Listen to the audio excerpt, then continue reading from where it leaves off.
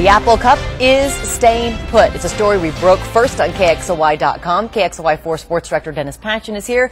Uh, the Cougars say no thanks to Qwest Field, Dennis. Mm, not for now. The Apple Cup is going to stay on campus at the University of Washington, and Washington State University. It wasn't the money that derailed this plan. Remember, it was going to be $2 million a year per school. It was the agreement on just who was going to get how many tickets. That's the thing that put the brakes on this. According to sources, the Huskies wanted more tickets than the 31,000 split between each school.